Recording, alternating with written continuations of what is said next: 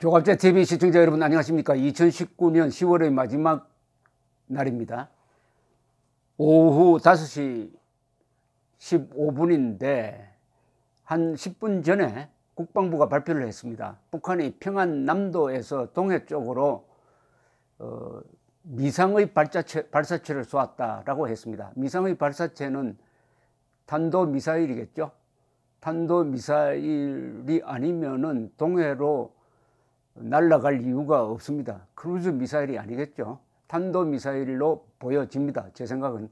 그러나 일단 발사체라고 해놓고 어, 분석을 해가지고 공식적으로 발표할 것으로 보입니다. 올해 들어와서 12번째고 어, 잠수함 탄도미사일 발사 시험 30여일째 어, 만에 또 도발을 했는데 이 타이밍이 고약합니다.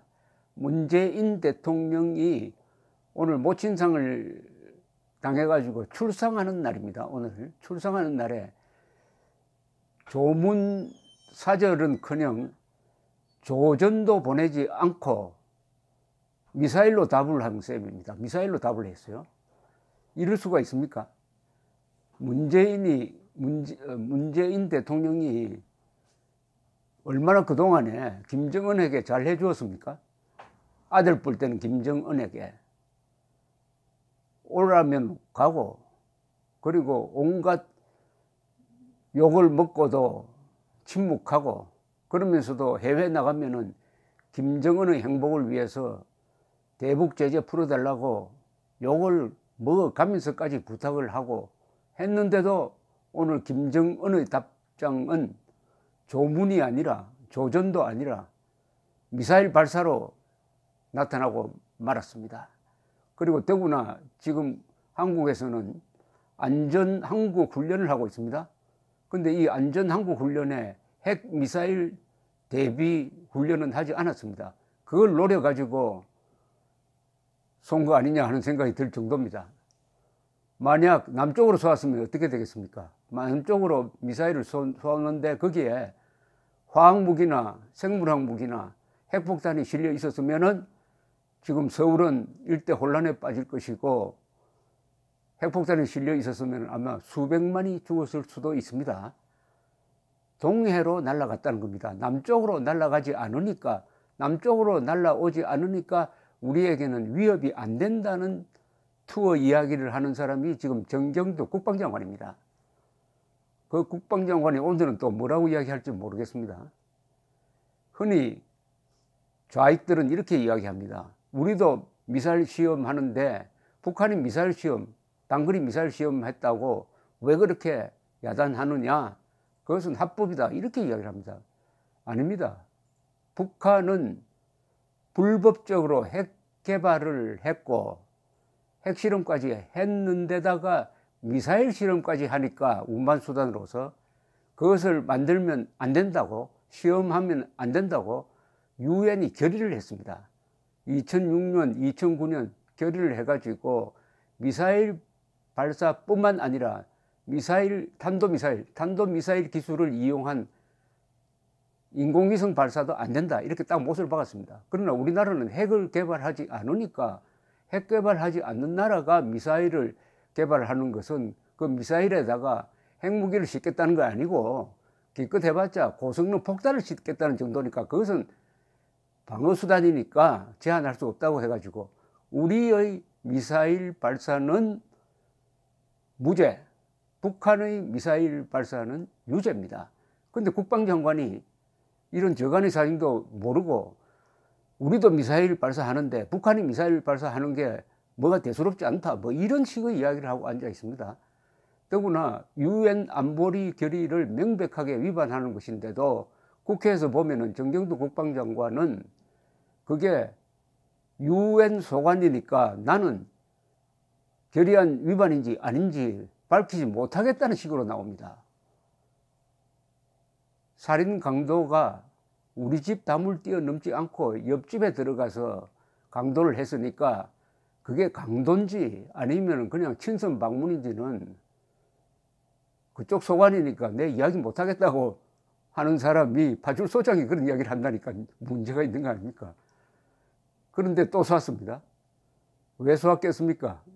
지금 김정은이는 올해 연말로 딱 시한을 정해놓고 미국을 압박하고 있습니다. 미국이 대북 제재를 풀지 않으면은 새로운 협상 제안을 해오지 않으면은 중대 결심하겠다. 새로운 길을 가겠다. 이겁니다. 그 새로운 길이라는 것은 장거리 미사일 실험하는 것하고 핵실험입니다. 이 두 개 중에 하나만 하면은 트럼프 코를 납작하게 만들어 가지고 트럼프가 미국 유권자로부터 배척당하고 사기꾼 비슷한 취급을 받도록 하겠다. 그래 하여 내년 11월 재선에서 낙선시키겠다. 이런 카드를 가지고 압박을 하는데 바로 미국에 대해서 압박을 하는 것이 아니라 이런 식으로 미사일 시험을 계속하면서 압박을 하고 있습니다. 물론 미사일 시험 계속하면서 미사일 성능을 드높이고 있는 거죠. 북한의 탄도미사일은 단거리, 중거리, 장거리로 나눌 수 있는데 단거리는 한반도 전역이 다 들어갑니다. 중거리는 일본까지 들어갑니다. 장거리는 미국까지 들어갑니다. 우리로서는 단거리도 중거리도 장거리도 다 우리의 안보에 치명적인 위협이 됩니다. 우리가 핵미사일이라고 불러야 됩니다. 미사일에다가 폭탄 달아가지고 쏘지 않습니다. 그것은 값이 너무나 비싸게 치입니다. 폭탄 달아서 쏴가지고 건물 하나에 구멍 내는 걸로 해가지고 그 미사일 값이 빠지겠습니까? 반드시 거기에는 화생방 무기를 달아야 합니다. 그러니까 북한의 탄도 미사일은 핵탄두 달기 위한 것이라고 보면은 틀림이 없습니다. 그러니까 이건 아찔한 순간이죠. 김정은이가 다행히 동쪽으로 쏴라고 명령을 했기 때문에 우리가 지금 살아 있습니다. 거기에 핵탄두 달고 남쪽으로 쏴라 라고 했으면 우리는 지상에서 영원으로 갔을지도 모르는 것입니다. 자, 이렇게 되니까 또 문재인 대통령이 헛짚은 게 있습니다. 11월에 열리는 한국과 아세안 정상회담 11개 나라가 오는데요. 거기에 김정은을 초청하고 싶다고 했습니다. 정식 초청장은 보냈다는 이야기가 없습니다. 그런데 국정원장까지 나서가지고 김정은이가 부산에 올 수 있는 것처럼 자꾸 이 안개를 피웠습니다. 말을 만들었어요. 근데 지금 이 사정이 김정은이가 부산에 올 계제가 못 된다는 것은 삼척 동자도 알 수가 있습니다. 김정은이는 더구나 지난주죠. 금강산을 방문해가지고 한국이 지어준 호텔 이런 시설을 둘러보고는 관광, 어? 관광 명소를 망치고 있다. 허접한 시설을 다 치워버리라. 이렇게 이야기를 했는데 그게 바로 자신의 이 돈보따리 아닙니까? 금강산 관광을 해가지고 그동안에 몇억 달러, 몇억 달러를 벌었는데 거기에 침을 뱉었다? 하는 것은 뭘 의미하느냐? 이제 문재인에게 더 이상 기대하지 않겠다. 중국 자본을 유치를 했다는 뜻인지도 모릅니다. 그게. 그러니까 개성공단도 이제는 포기했다. 금강산 관광 더 기대하지 않는다. 그동안에 자존심 상해가면서 문재인 대통령이 미국과 맞서가지고 미국이 반대하더라도 개성공단 그리고 금강산 관광 재개해 줄 줄 알았더니 나도 당했다. 이렇게 생각하는 것 같습니다. 그러니까 김정은은 김정은대로 문재인은 문재인대로 트럼프는 트럼프대로 다 어려운 처지에 놓여 있는데 여기서 김정은이는 제일 중요한 게 문재인 트럼프와 다른 한 가지 매우 유리한 점이 있습니다. 그것은 장기 집권하는 독재자라는 뜻입니다. 선거를 하지 않는 지도자라는 뜻입니다. 여론에 신경 쓸 필요가 없는 사람이란 뜻입니다. 그러나 문재인 트럼프는 선거에 목을 매야 하는 사람들입니다.